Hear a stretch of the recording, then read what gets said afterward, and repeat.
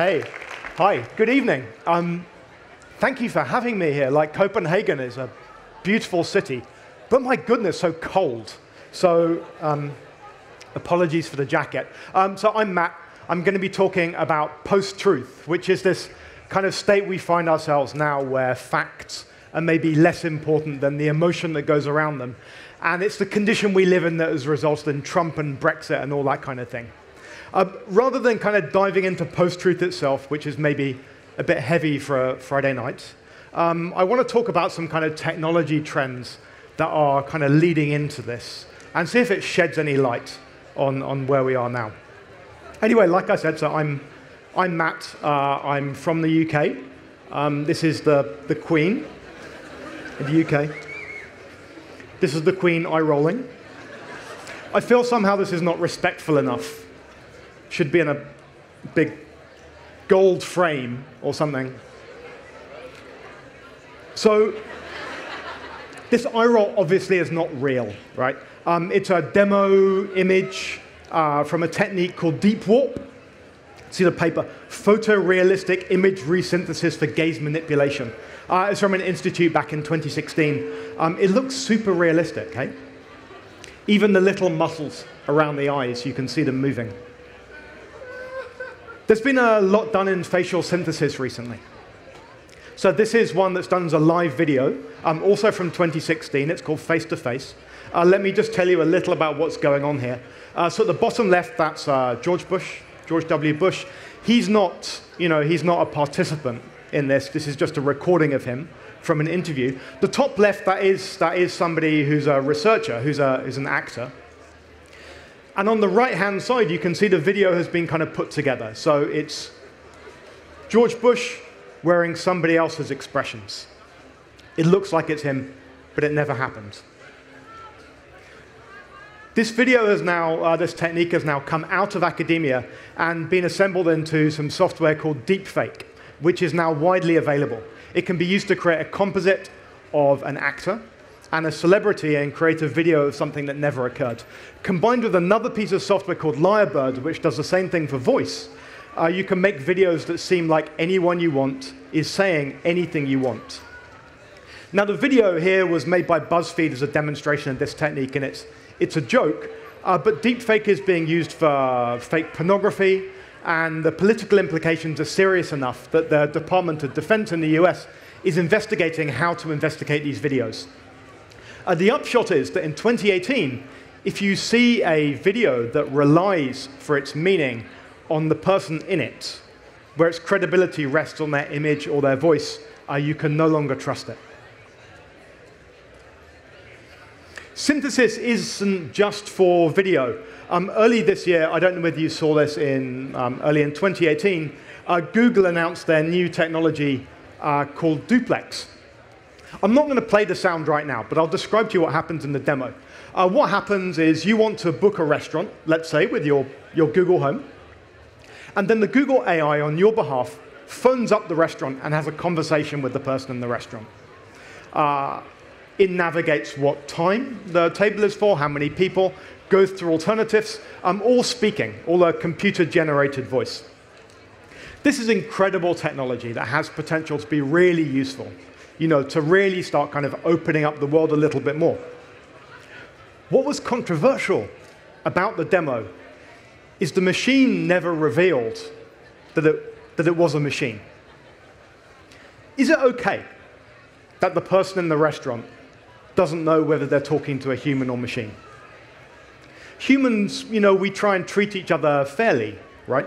So let's pretend the machine puts on a voice which is anxious or desperate, kind of begging for a table. Uh, would that be fair?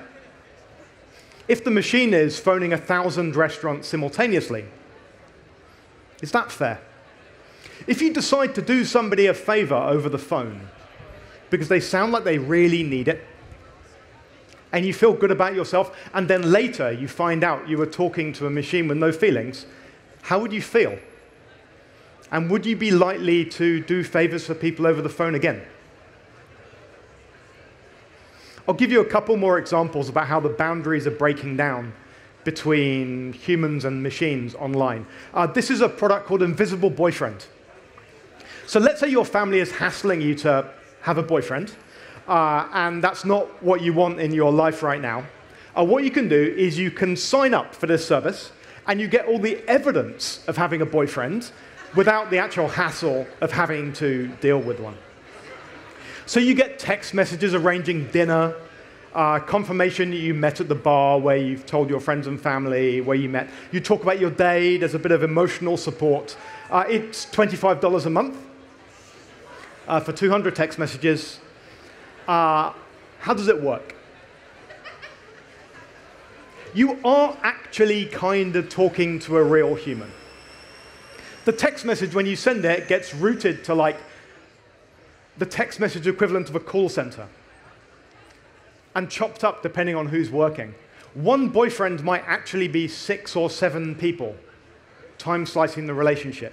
So to you, it feels like it's a single person to person relationship because it shows up as a single conversation. But you're kind of speaking to a collage, right? A composite human, a kind of a hive mind. $25 a month. This has been weaponized. Uh, the confusion over whether you're talking to a machine or a, or a human um, does kind of trip us up. This is David Jones on, on Twitter. Uh, he's from Southampton which is my hometown, and I'm delighted. I think this is probably the first time that Southampton in the UK has been mentioned twice on stage in the same evening. Um, huge respect for Wendy Hall as well, bit of a, a hero, you know, from, the, uh, from my hometown, so I'm really pleased. Um, but I feel like I have some connection, right, to David Jones. I, I grew up in Southampton. I, I, I know the kind of people who walk down the streets, you know. I feel like I recognize I want to listen. 100,000 followers, tweeting since 2013. Um, David Jones was also central to the uh, Brexit referendum. So two years ago, during the, during the debates, the whole country gets involved, very polarizing. Uh, David Jones's messages were very pro-Brexit, very pro-leaving, um, retweeted widely, a part of all of these conversations uh, sowing a, you know, a lot of kind of division and, and building the argument. So someone like this, uh, it, it can really help shift the mood. Only recently, another Twitter user, uh, Conspirator Zero, did some research into David Jones's tweets and what time he posted them. This is a frequency plot of David Jones's tweets. Uh, it shows what time he posted, how many messages, when. And it turns out that David Jones only tweets during Moscow office hours. No late night tweets in front of the TV. No early mornings. Just 8 a.m. to 8 p.m. Moscow time, which, by the way, is three hours away from UK time. Once this was revealed, David Jones shut the account and disappeared. I say his account, do I mean his, right? Was this the invisible boyfriend of propaganda? Like, I've worked in marketing, right? This is how you sell butter. Like, we should be able to recognize this stuff. Okay, one, one final example. Um, this same uh, bot technology uh, is also used to create um, artificial intelligence executive assistants. Basically, what happens is uh, it's an AI that will organize your meetings for you. Um, so you're, you're, you're, emailing someone you want to meet. Uh, you arrange you are going to meet. You CC um, this AI, which appears to be uh, a real person. And then it jumps in and takes over the conversation, uh, speaking in regular, normal language, regular English, uh, to the person you're meeting. So it's a, it's a neat bit of technology, you know, time saving, all the rest. So last year, I had a, a meeting with an investor in, uh, in the States uh, who happens to be one of the investors in one of the major companies uh, building these AI executive assistants. And sure enough, halfway through the conversation, um, this person uh, jumps in and helps me arrange the meeting. And once the meeting was arranged, I thought, do I say thank you? Like, this investor I'm meeting is, is still CC'd, right? If if I say thank you to a machine, do I look naive, like I don't know what's going on? If I don't say thank you, and it turns out it's a human, like, do I just look really rude? I'm aware this is a very British response to technology to agonize about how polite I'm being. Um, in the event, I decided to say thank you, uh, which was fortunate because I turned up and it was the receptionist who has just perfect email manner and was very much a human being, as far as I could tell. The sociologist uh, Sherry Turkle has pointed out that if we get accustomed to treating machines as if they don't have feelings, then we'll start treating humans who inhabit machine roles also as if they don't have feelings. So we'll be abrupt with people working in call centers because, you know, that, that becomes our habit. And this is the new kids edition of the Amazon Echo Dot. Um, it has a feature called Magic Word, uh, where it won't respond to a request without you saying the word please. Uh, this is because parents were seeing their kids develop the habit of barking out orders, right? And then treating humans in the same way. I don't know whether this is a good thing or not.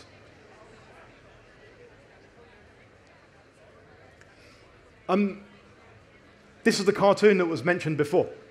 Uh, it's the cartoon from the New, New Yorker, uh, 1993, exactly 25 years ago, uh, Peter Steiner. Uh, the caption reads, On the internet, nobody knows you're a dog. It's still the truest thing that has ever been said about the internet. Not only does nobody know whether you're a dog, but our technology kind of wants to make it harder and harder to tell whether you're talking to a dog or not. We kind of regard machines that don't act as machines as kind of a bug that we want to fix. We want to make our interfaces more and more indistinguishable from humans. There is another way. It doesn't need to be like that. This is Twitter art. Uh, these are generated landscapes um, created and uh, automatically and published hourly. Uh, one landscape every hour on the hour. Uh, this is by at WildflowerBot. Uh, here's another. So this goes on all day, every week, every month, every year. Uh, here's, a, here's another one. Um, so there's a large community of Twitter artists making these bots, right? And this one automatically posts descriptions of people taken from the American census. Uh, one person every hour, every day, every week every year. I carpool with another person. I got married in 1986. I had less than two weeks off last year. Here's another. It's like an empathy machine, right? Last time I got married was in 2001. There's no pretense this is a human. I mean, it can't be a human, right? Despite being in the first person, uh, it's clearly a machine, and you can tell because of the abundance right? No, no person could be posting uh, this many different stories continuously on Twitter. It's taking advantage of something only a machine can do.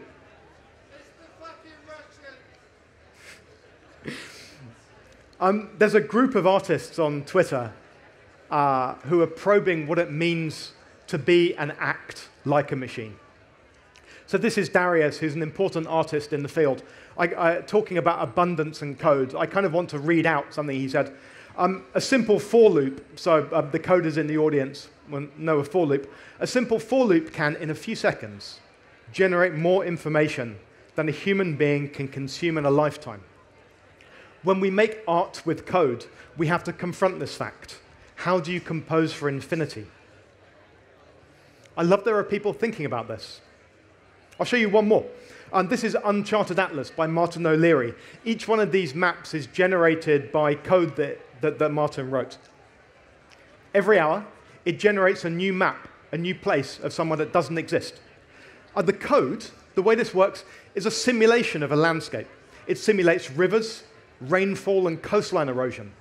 He's built a simulation of how human language works, what phonemes work well together, uh, how we talk about places, which ones become popular and which ones don't.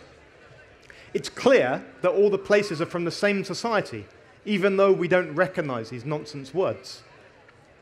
And I love these, right? I want to visit them, even though clearly they don't exist. Martin, as a member of this uh, Twitter artist group, is very clear about what he's doing. He wrote a fantastic essay about bot ethics. These are, these are bots that they're making. Um, and let me read you a quote uh, from his essay.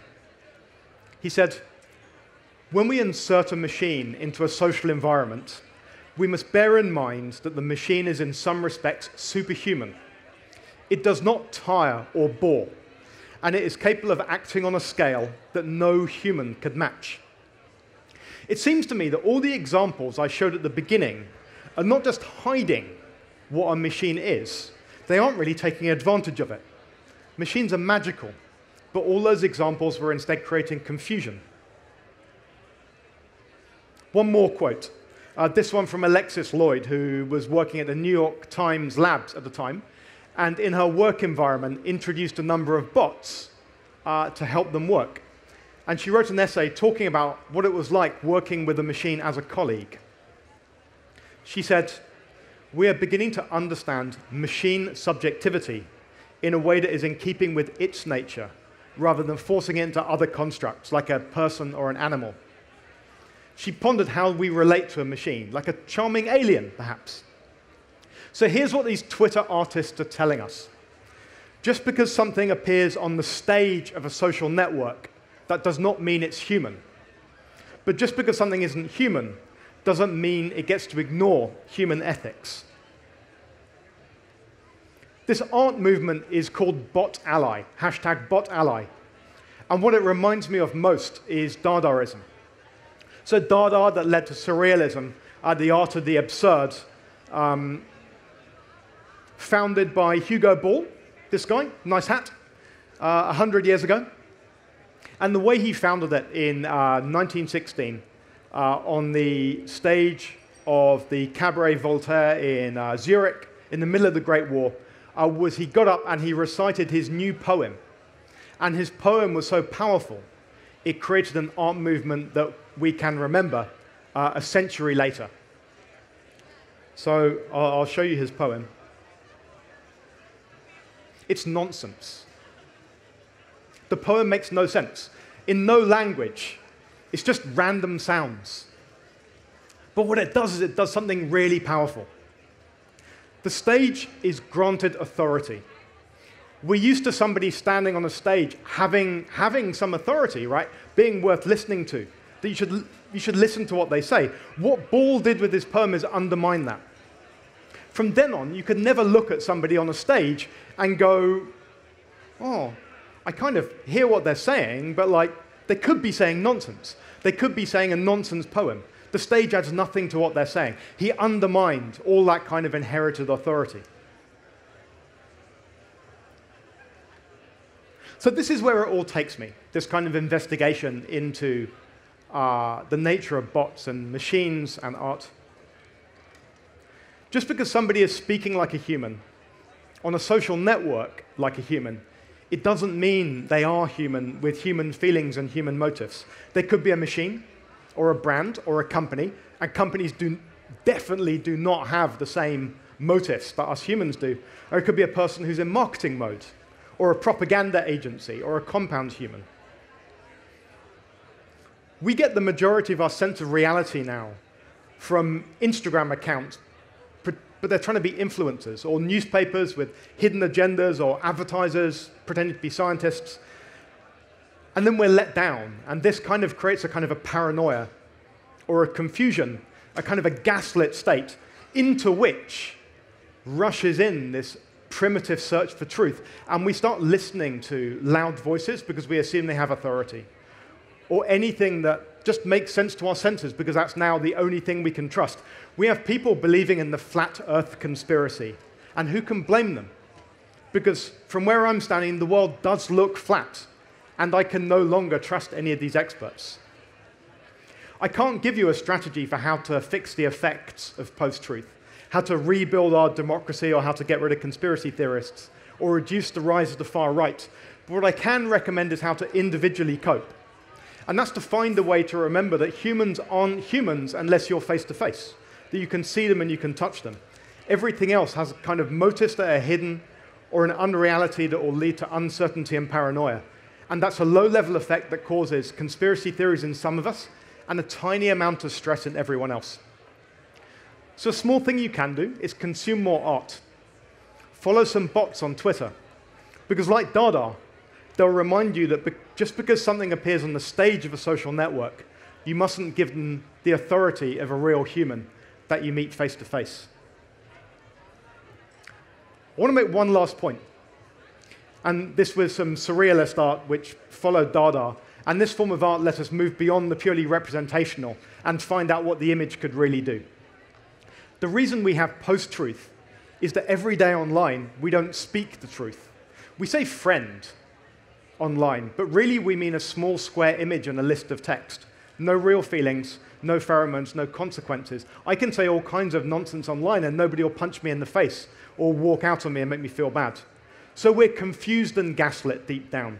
And we wouldn't be if we started with the original truth to treat people as people, user accounts as user accounts, and machines, no matter how magical, as just machines. My feeling is that we should find new words to talk about what's happening online. Because I'm not listening to a voice, not with a brain and empathy behind it, but a synthesis designed by a team. I think the strategy to really cope with post truth is to be more precise with our language, not just to avoid being tricked, but to allow our machines to grow into what they truly are. So this isn't a retreat from technology. I don't want to kind of end with that. It's finding something new. Uh, finding a true machine subjectivity is going to be a challenge as grand and as wonderful and as new as the invention of the machine in the first place. I'll leave it here, but one plug first. If you're British, I run an anti Brexit campaign. We do a sit out every Wednesday night outside the Houses of Parliament. Come join us. We have a picnic. It's great fun. BrexitDoesn'tAddUp.com. I'll leave it there. Thank you very much. Good night.